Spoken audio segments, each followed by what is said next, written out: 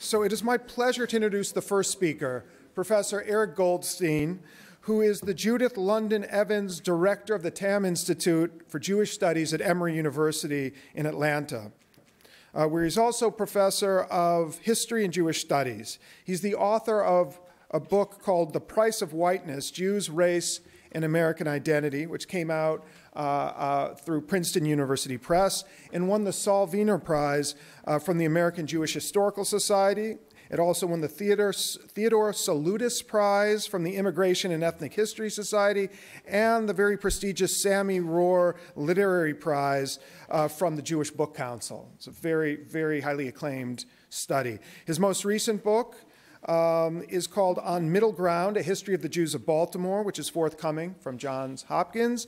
And he's currently working on a book on, on, on the history of reading and reading culture among Yiddish speaking immigrants in America in the 19th and 20th century. So please join me in welcoming Eric Goldstein.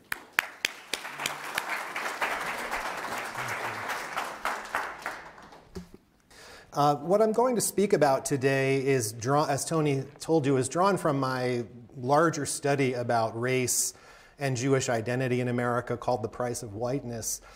I became interested in this topic uh, as a graduate student because um, I, was, I was in a program that was largely framed around uh, US history, and I was also studying modern Jewish history. Uh, and it was quite evident that race, uh, discussions about race, was really at the very center of scholarship on, on US history. Uh, and so, as someone interested in Jews in the US, I felt that this was a topic that historians absolutely had to tackle to understand the, the impact of American society on Jews. And there had been studies, for example, of African American Jewish relations, but uh, there had been a more recent scholarly trend to think about racial identity and how people you know, came to think of themselves in racial terms. Uh, and there had particularly been some work on immigrants, because immigrants uh, usually came from societies where the categories relevant in America, the categories of black and white, were not uh, part of their experience. And then coming to the United States, they had to adapt to thinking of themselves within this new system. Uh, and uh, so I got to think about this process for Jews, and uh, it ended up being very fruitful, uh, not only because it's an interesting topic, but also it provided a new way of thinking about the American Jewish experience. Uh, traditionally, American Jewish history has been written in a very celebratory tone. Um, we like to think of it as a success story, a story in which Jewish immigrants came to America and they found a place where they could neatly synthesized their Jewish commitments and their desire to be part of American society, and that those things did not conflict with one another as, they, as uh, Jews had experienced in other less tolerant settings. But when you view the American experience through race, you find an aspect of American culture that was much more problematic for Jews uh, for several reasons. Um, first of all, um, Jews uh, were ambivalent in their developing relationships with African Americans. On the one hand, they found that to be accepted in American society, uh, they had to some extent toe the American racial line on, on African Americans. In other words, um, they had to adapt, uh, adopt many of the racial mores and, and support uh, the system of racial segregation, particularly in areas like the South or the Western United States, where they were an essential part of the local uh, white middle class culture. Um, and yet, at the same time, there were aspects of the Jewish historical experience uh, of oppression, of being the victims of pogroms, of being the victims of segregation, that uh, provided a context for Jews to identify on some level with the African American experience. So this was a constant uh, you know, source of, of tension and, and confusion for Jews, and it really depended on uh, their, their geographical location, their level of acculturation, um, how they responded to this question over the years. The other related question that I explored was how the terms that Jews use to describe themselves. And that I found that that's something we haven't really, uh, that scholars hadn't really thought about very much, uh, but that's intertwined with the first question. And, and what I mean by that is in the 19th and early 20th centuries, it was very common for Jews and many other European immigrant groups to be referred to in racial terms the Hebrew race, the Irish race, uh, and so on. Um, and it was also very common for them to refer to themselves that way. Uh, so Jews quite often referred to themselves as members of a distinct race. Part of this is because in, those days, uh, there was, we, they didn't have the terminology that we have that has developed over the decades of ethnicity. Uh, in general, in, in the scientific and, and social scientific uh, spheres, there was not a neat uh, distinction made between race and culture. Cultural traits, uh, character traits were thought to be innate and, and inheritable traits.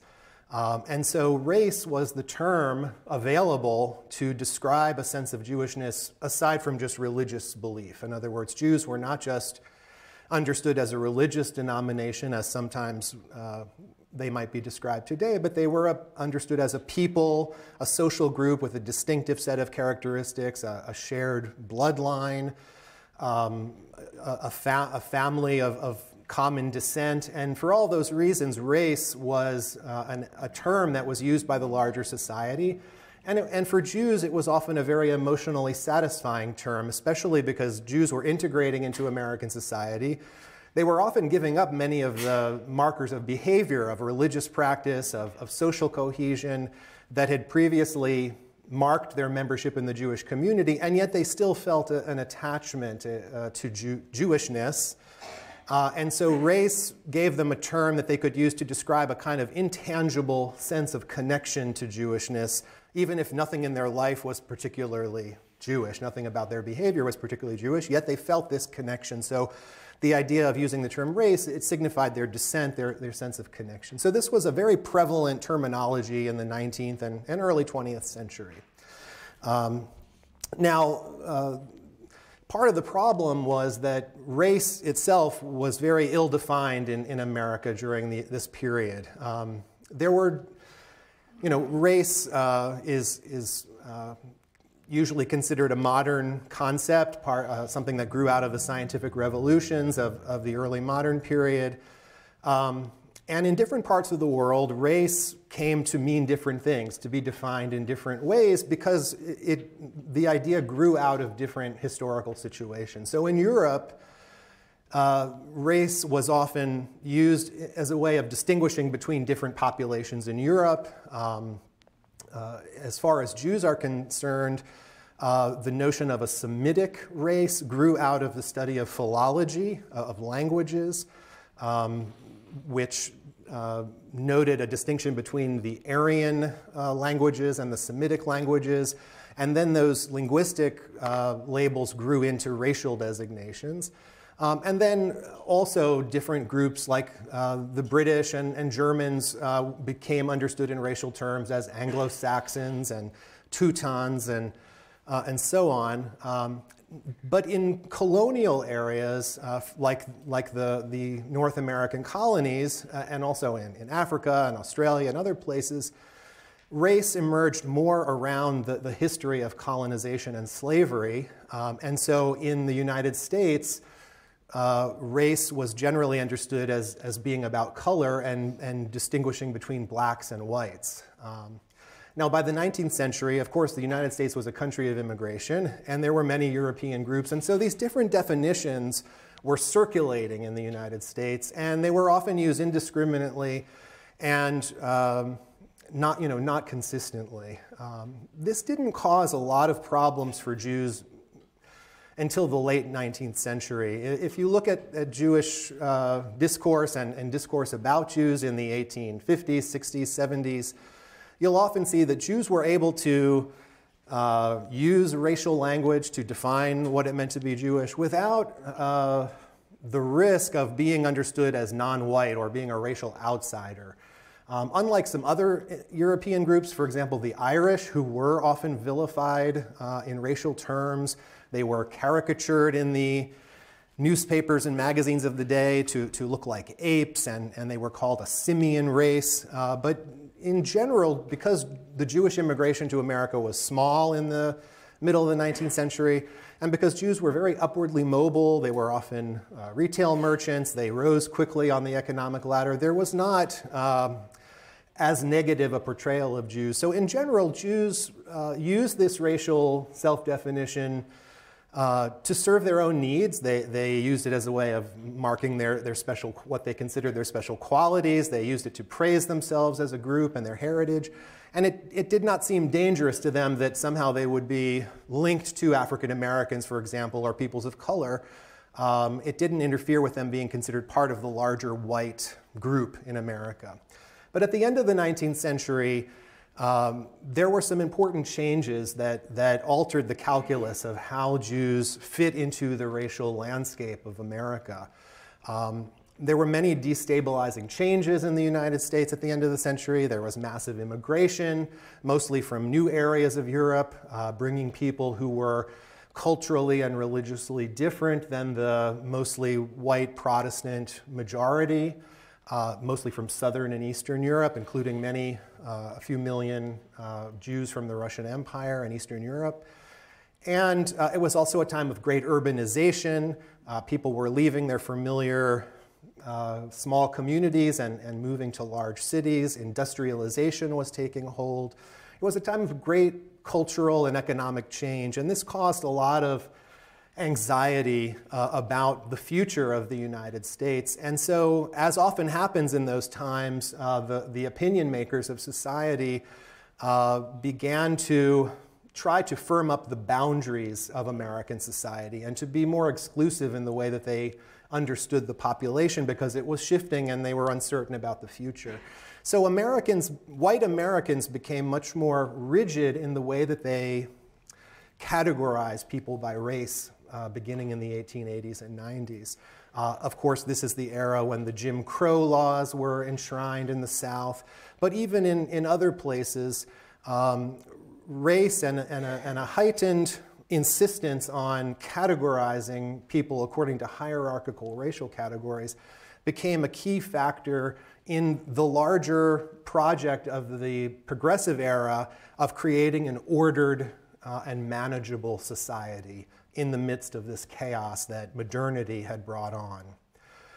So, um, this created a somewhat dangerous situation for Jews because part of this was there were increasing attempts to kind of systematize and better understand the different meanings of race. And uh, it was no longer as possible to use racial terms to describe groups like Jews without also linking them in some way with, with non-whites and people of color. Uh, and so Jews perceived that racial language as applied to them was becoming a much more of a liability by the end of the century. Uh, and the Jewish community had to re react to this. So, so this is you know, just wanted to paint with broad brushstrokes to kind of set up the problem of why at the turn of the century Jews and, and, especially Jewish leaders who were concerned for the image and the welfare of the Jewish community were so concerned with race and uh, issues of uh, how Jews were defined. Um, and there were certain aspects of the um, Jewish communal agenda that were particularly you know, mobilized around this question. Um, one, of course, was, again, uh, this was not so much taken up by Jewish communal leaders, but in the general Jewish populace, there was an increased sensitivity about the Jewish stance toward African Americans. There were some key moments at the turn of the century. For example, during the Kishinev pogrom in, in Russia in 1903, there was a lot of discussion in the press about the similarities between Russian pogroms against Jews and the lynching of African Americans in the South. And this is an example where many, although some Jews agreed with this comparison, especially in the North, many Jews objected to the comparison because they saw in it an attempt to liken Jewish group difference to African American group difference. And they perceived a danger in that, that they were being perceived uh, as a group that was different from the white mainstream, like African Americans were. Another thing that happened is in the 1890s and early 1900s, social discrimination against Jews was on the rise. So Jews were being excluded more often from hotels, resorts, and happening precisely at the same time as the, the Jim Crow laws in the South, they again perceived a danger that they were being considered a group to, to be different like in the same way that African Americans were. So that was one point of concern uh, among American Jews at that time. Um, another issue was um, the problem of um, intermarriage. There was a lot of, especially around immigration, there was a lot of discussion of what would happen to the immigrants eventually. Would they uh, become part of the melting pot? Would they eventually lose their distinctiveness, marry into you know, uh, the larger white population, and basically disappear? Um, and this was generally the vision of most leaders of, of white middle class society. This was kind of, actually at the time, considered a very liberal progressive idea that um, you know, Jews and other immigrants would be able to enter the mainstream through intermarriage. Of course, most Jewish leaders chafed at this suggestion. They did not necessarily support intermarriage um, because they saw it as spelling the end of, of Jewish group existence. And yet, publicly, they found it very hard to defend their position because it, in doing so, it seemed to suggest that Jews did not want to merge with the larger population. Um, so, in other words, you had a different definition among Jews of what, what was required to become a solid part of American culture than you had among the, the larger native born population. And so, on all of these issues, Jews tried to navigate these issues uh, as best as possible, trying to satisfy the demands of the larger society, but often uh, they had contrary views and, and they had to, to navigate these as best as possible. Um, an even more serious issue came with the topic of the government's desire to classify immigrants according to race.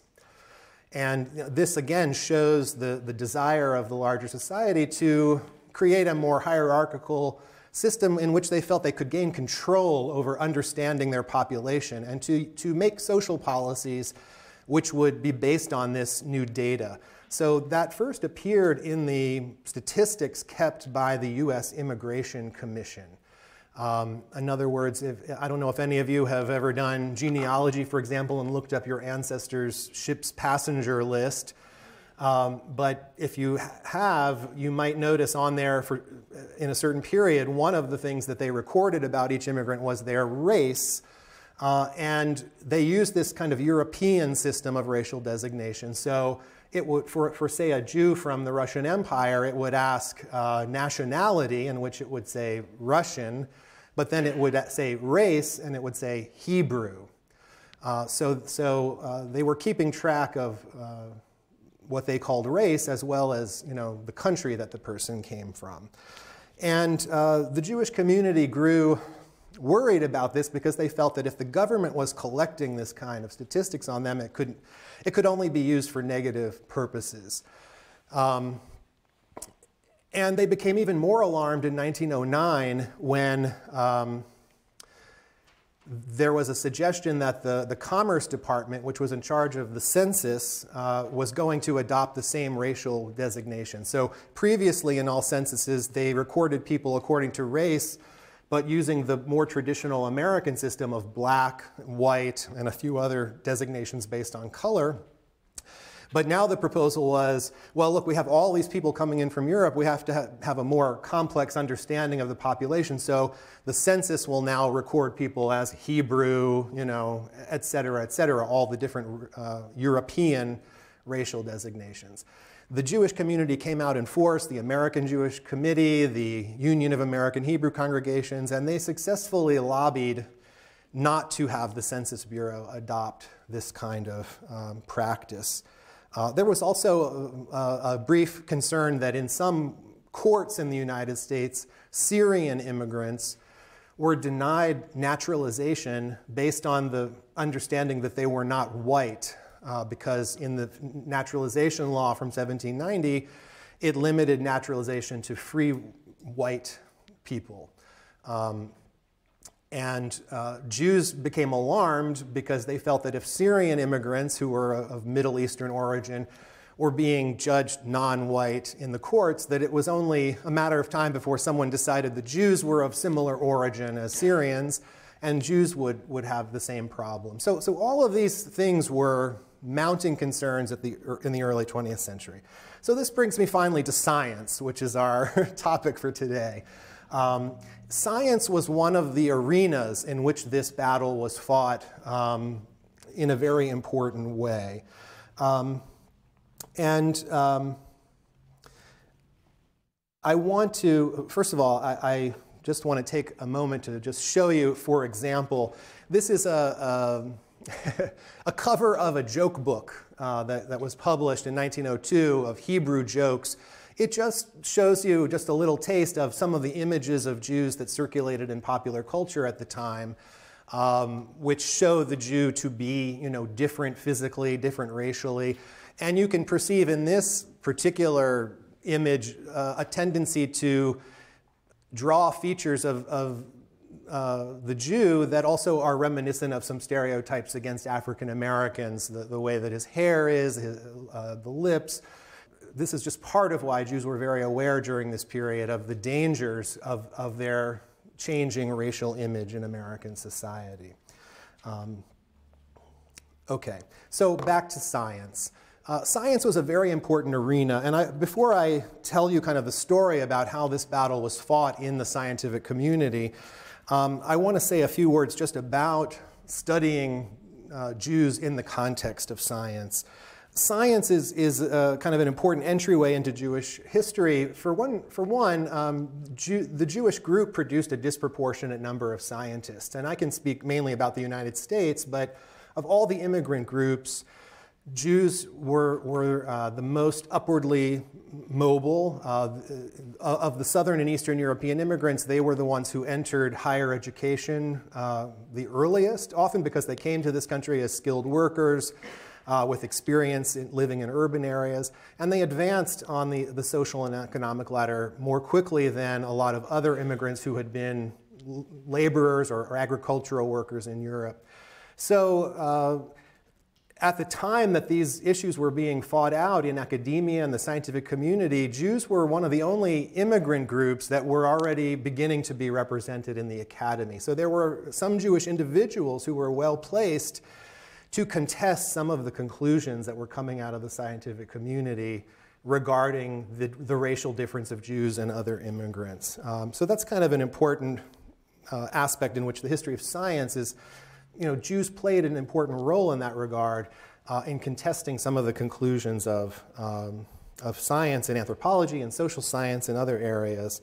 Um, another thing to mention is science was a particularly attractive avenue for Jews in this kind of defense work because uh, of the authority of modern science. In other words, science was understood as a value neutral universal field of inquiry in which the, just facts existed, but um, you know, opinion and, and, and bias didn't enter into the situation. This was the, this was the way science was understood. As, as I'll explain in a minute, that's not exactly the way it works.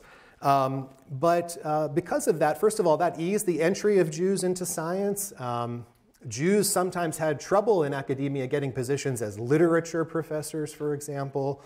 Uh, Ludwig Lewisohn, uh, the, the, the, German Jewish writer, for example, uh, if you've ever read his autobiography, he had an awful time getting a position teaching English literature because the assumption was how can a Jew understand the, the culture and pathos of uh, people of, of you know, native born and, and English background? But in science, uh, background was thought to be less important because of the, the notion that science was a kind of universal, value free uh, field. And so many of the Jews who first got involved in academia, the scientific fields were often the first area. Matter of fact, the first Jewish professor in the United States in the, in the 19th century uh, was um, Professor Sylvester, I think it was John James Sylvester, um, at the University of Virginia, and he was a mathematician. And, you, and if you look at the history of Jews in higher education, you'll find that they were often in the sciences, uh, in mathematics. Um, sometimes languages was a, a, vehicle also, especially the, the field of, as we'll see in a minute, of Semitic languages, because Jews were thought to have a kind of natural understanding of that field. Um, so anyway, science was a very important avenue for Jews looking to break into the intellectual community. Um, and the other thing I want to, to say is that uh, a starting point for understanding this whole discussion is to understand that despite its reputation, despite the, the idea that science was a kind of value-free, neutral sphere of, of, inquiry, it was actually, of course, like, like all endeavors, situated historically and culturally. In other words, the people who conducted science were always shaped and informed by their, the concerns that they brought to their research, by the values of the larger culture in which they lived. So as much as scientists protested that it was just about the facts, um, the science of, of every period is necessarily um, biased in some way and situated within the assumptions of the larger culture uh, in which it's produced. Uh, so uh, sometimes uh, people have been uh, loath to look back and to study seriously racial, what we call racial science, because they say, well, that was just pseudoscience. It wasn't real science, so it doesn't sort of merit serious consideration. But um, that uh, keeps us from really confronting the fact that science in every period is uh, shaped and, reflects the values and assumptions of the period in which it was created. So we have to take, uh, we have to understand that, that in, in this day, in the late 19th and early 20th century, racial science was considered real science. The, the people who did this work felt that they were uh, dealing in facts and, and they were not uh, willing to admit and they were not aware of the fact in uh, the way in which their work was, was shaped by the, by the larger set of assumptions uh, of their society. And so it helps us also understand how science works in, in all settings and, and even today. Uh, so it's important in a way to study these things to understand the larger way in which science is contingent on historical and cultural factors. So the last thing is that, uh, as you'll see in the story, science had its limits for Jewish, for, for kind of working out the complexities of Jewish identity partially because Jewish identity is often, especially in the United States, was a very contradictory, um, almost paradoxical thing. Uh, Jew, Jews coming to America were often confronted by a lot of um, mixed feelings about what it meant to become a, an American, and science was a field that demanded rigid ideological consistency. So as we'll see, it kind of had its limits in the end for fully uh, helping Jews to work out the fine points uh, of their questions of identity. Okay, so I want to step back now um, and tell you the story about uh, how scientists, and I'm going to focus on particularly on two scientists, um, struggled with and tried to come up with answers about Jewish racial identity in the early 20th century. Um, first, I want to go back to this idea of Jews being descended from what was understood as a Semitic race. Uh, as I said, this was an idea that grew out of 19th century philology. Um, and it became a kind of racial orthodoxy in European racial thinking. And of course, these ideas, uh, even though the United States did have this kind of black-white understanding of race, these ideas did filter into American scientific thought as well. And during the Progressive Era, as I said, there was this kind of project of trying to really systematize and understand all of these def different definitions and to try to square one with the other. Um, and so uh, there was a lot of discussion about the Semitic race, what, how, what people understood as a Semitic race uh, during this time, and there was a theory emerging that the origin of the Semitic race was in Africa. And this uh, became a very widely understood idea at the turn of the century. And as you can see, it's, it's a way of kind of taking one system of race and trying to fit it with another. In other words, to fit all of these different racial groups into a kind of black-white framework. Some of them are more akin to, to black races, some of them are more akin to white races. Um, the, the, first scholar uh, who talked about the African origin of the Semites was uh, a professor named Daniel Brinton. He was an archaeologist and language specialist at the University of Pennsylvania. And his view quickly gained authority. Even his uh, research partner, the Jewish Semitic scholar um, Morris Jastrow, agreed with the idea that the Semites were of African origin. Um, and when the race scientist William Z. Ripley published a, a, very widely known book, The Races of Europe, in 1899, he adopted Brinton's view and he helped spread it to a larger audience. Ripley a, was an important thinker for the understanding of Jews, and I have reproduced a chart here. Ripley was essential to kind of mapping the European racial map onto the American one. And what he did was he classified Europeans according to region. He divided them into three main categories a group of um, the, what he called the Teutonic race in the north. Uh, later scholars called this the Nordic race. Um, an, another group, the Alpine uh, group, it, which inhabited kind of the middle parts of Europe.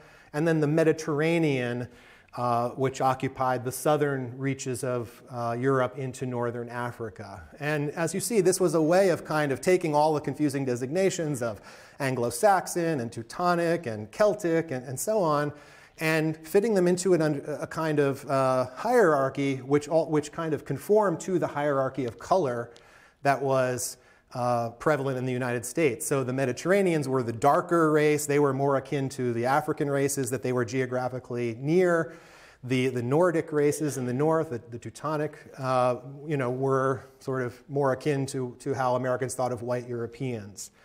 Um, so this was part of this project uh, uh that racial scholars were involved in during the Progressive Era. And Jews figured in Ripley's work, uh, and as I said, he adopted this idea of the African origin of the Semites, and this is just an example of some of the pictures that he included in his books.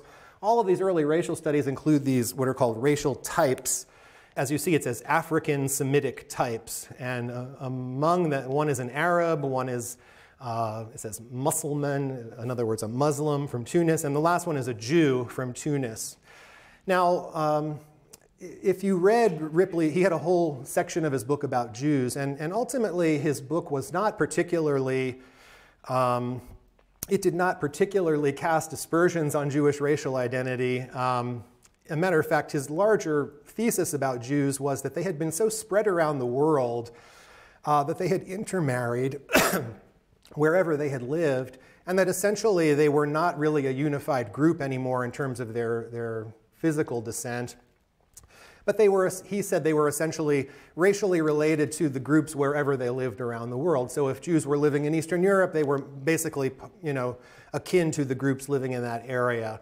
Um, and so you have the Jew from Tunis looking like the other people in, in North Africa, but that wouldn't have fit for an Ashkenazic Jew, for example, in, in Ripley's way of thinking.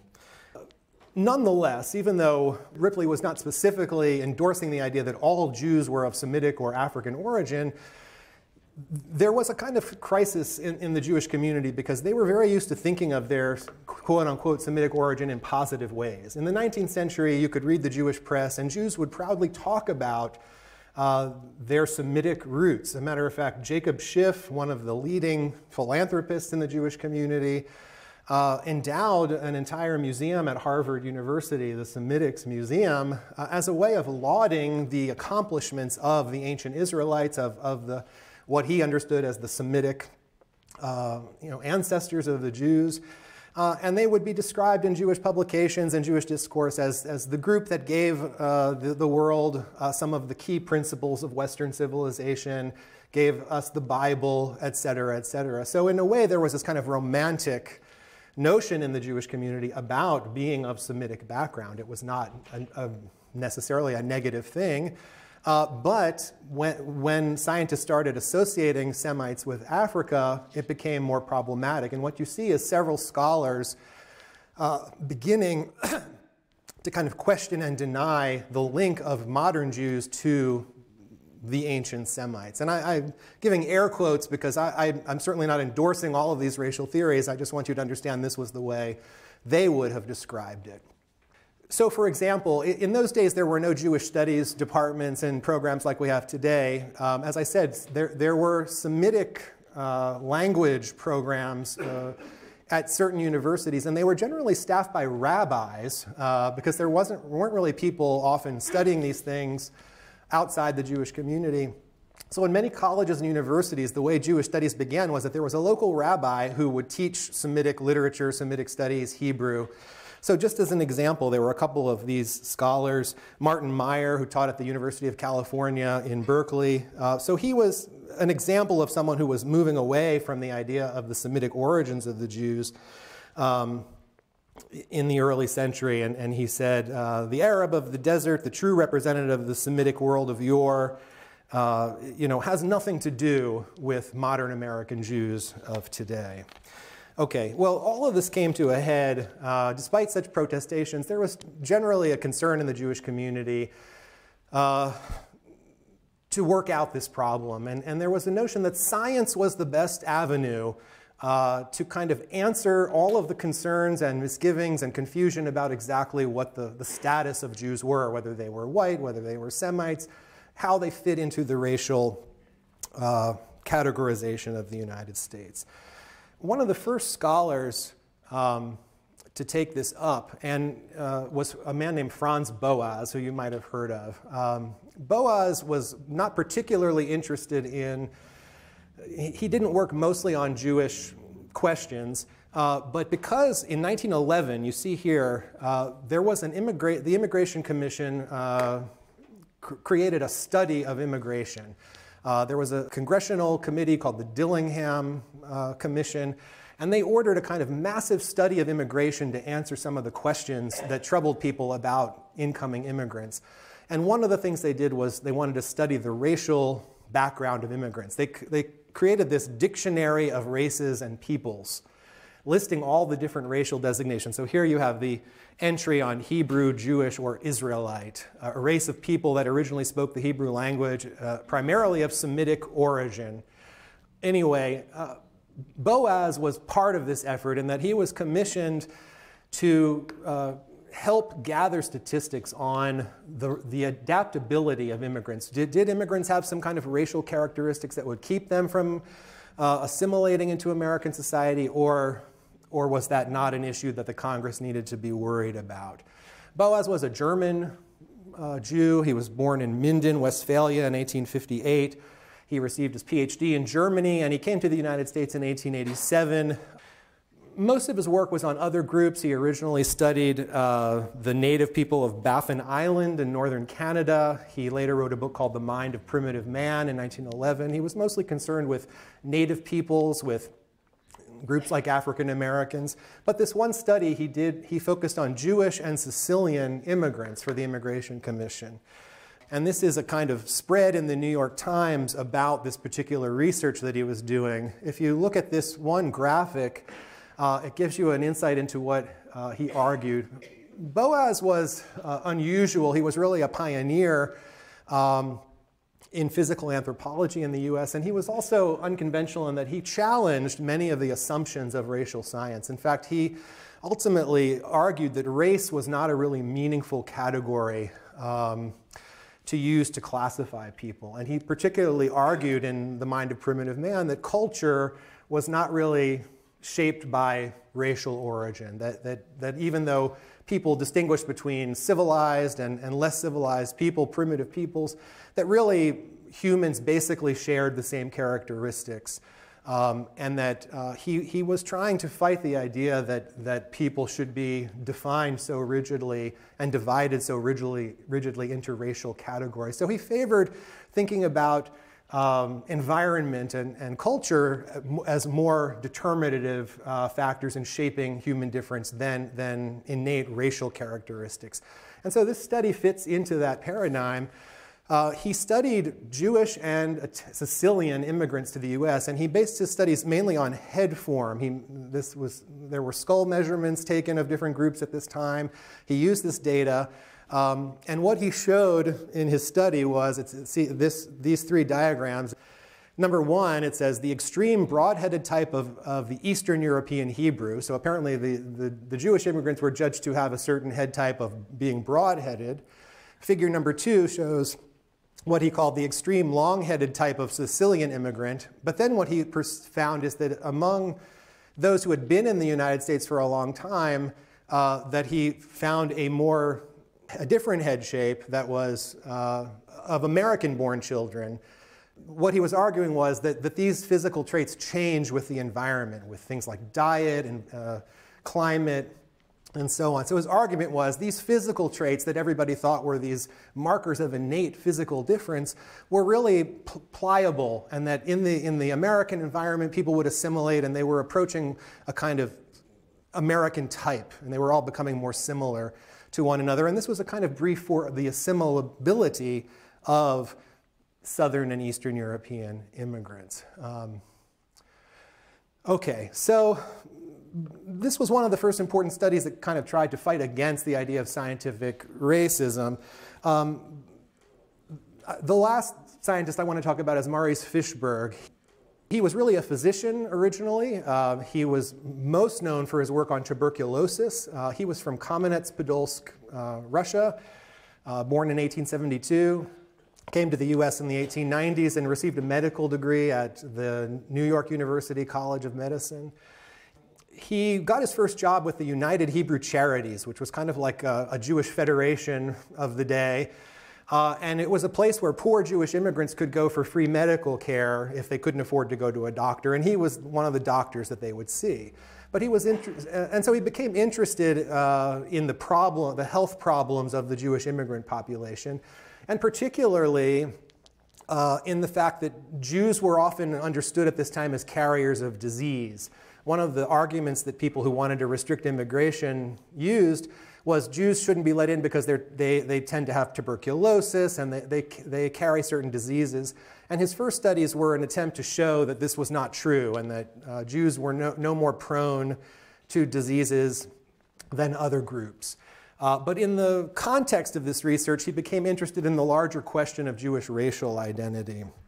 Um, and a matter of fact, he is the one who measured the, the skulls of his patients at the United Hebrew Charities. That's the data that Boas actually used in his study. Um, so Fishberg in some ways was similar to um, Boas and in some ways different. And I, I, this interests me because what it shows is that people who were situated differently in the culture responded to scientific racism in different ways. Boas was a, an, a, a a fairly assimilated Jew of German origin. He did not publicly identify with the Jewish community. He was a professor at Columbia University. Uh, in the press, I found mention of people who said that they were not aware that he was Jewish. Um, in other words, he wasn't identified with any Jewish organization. Um, I, that, I think that's one factor uh, that allowed him to be a little more oppositional in his research uh, than Fishberg was. Fishberg was, at, was in a different position. He was worked for a Jewish organization. He was a Russian Jewish immigrant. He was, people were very aware that he was Jewish and that his work was sort of on behalf of the Jewish community.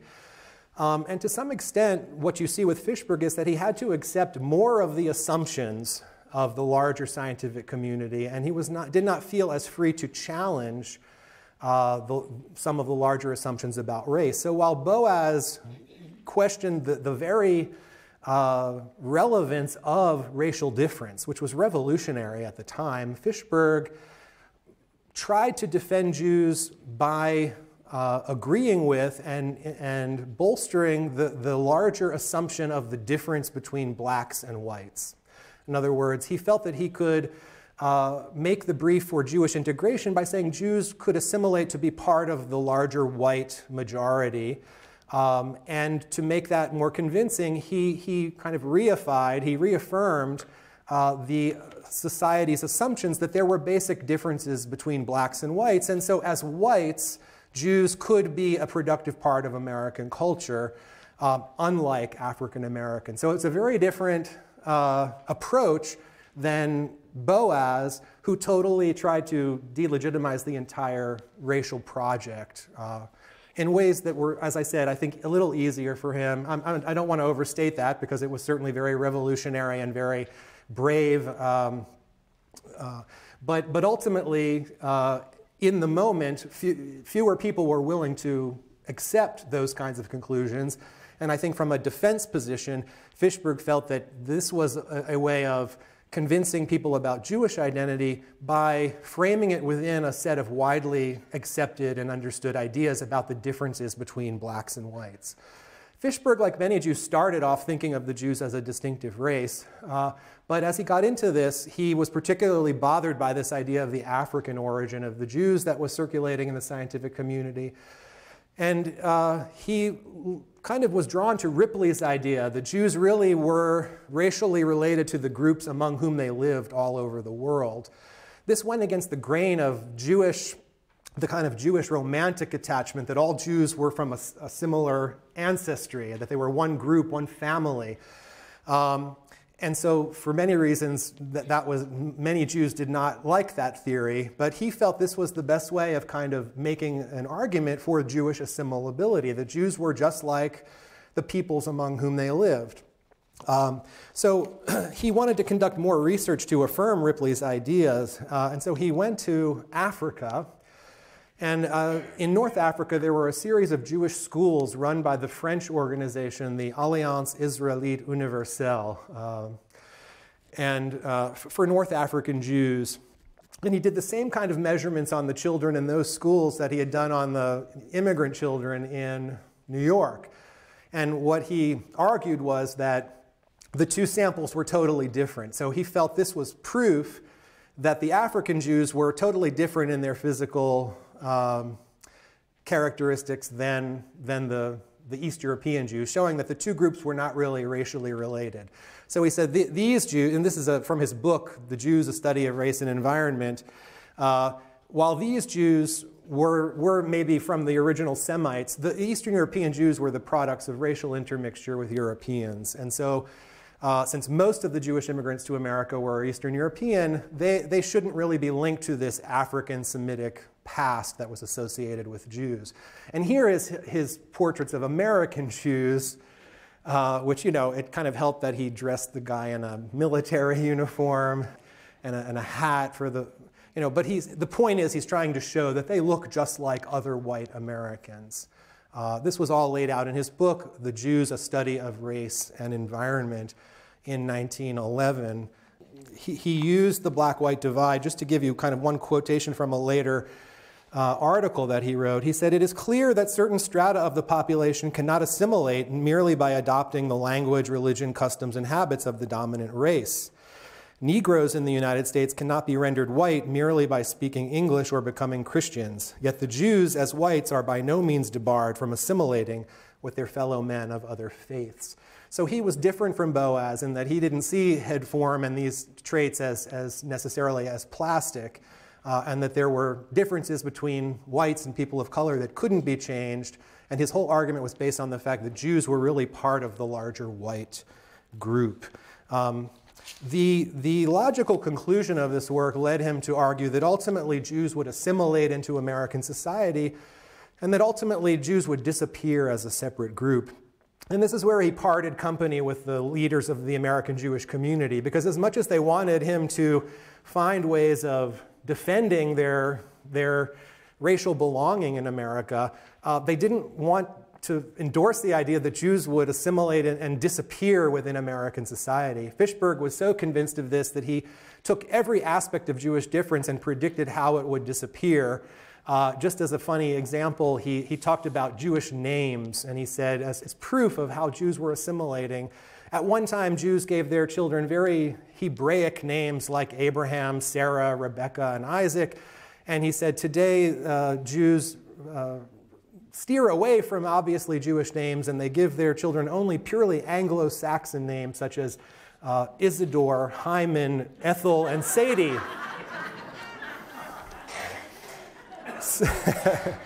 so, um, anyway, as I said, you know, science exists in the context in which it, it happens. Uh, and sometimes looking back, we don't share the same conclusions. Um, I just want to wrap up by, by revisiting three ideas, which I think all of this points out.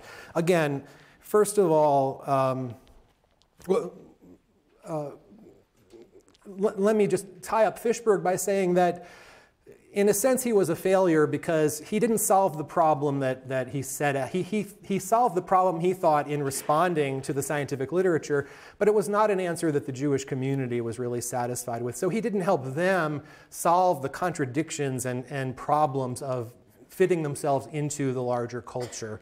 um, because assimilation for them was not a good answer, a disappearance. Um, so I want to just say again that um, science is a very important avenue for thinking about Jewish history. Um, it was a powerful tool uh, for contesting some of the ideas about minority groups. And Jews, more than many other groups, were very well situated to participate in that dialogue, more so than many other uh, ethnic and minority groups. So that's a way in which Jewish studies is an important part of the larger study of science and especially the development of racial and ethnic categories. Also, uh, we have to always remember the fact that science was always historically and culturally situated, and thinking about Jews in relation to science reminds us of that. That uh, they tried to unseat scientific ideas and, and, and assumptions by uh, challenging them in some ways, but also by agreeing with some of them. Uh, and you see this kind of negotiation, but what, you, what it really uh, entails is understanding the larger cultural and historical context in which scientific ideas took shape. And then it wasn't just about finding the, the facts, finding the kind of uh, objective truth, but that it was all situated within a larger set of social and cultural relationships and circumstances. Uh, and finally, that as powerful a tool as science was for Jews uh, in contesting some of these ideas, it was not a panacea, because ultimately Jewish identity was a very complex, often contradictory, and often paradoxical uh, thing. Uh, the encounter of Jews with modern society, and particularly American society, was fraught with all sorts of tensions and problems and those couldn't necessarily be worked out with the rigid consistency that scientific research demanded. So ultimately, uh, as powerful as a tool as science was for Jews, it was often not, uh, a, didn't provide a solution uh, to the questions of Jewish identity. So with that, I'll end, and I'm happy to take your questions.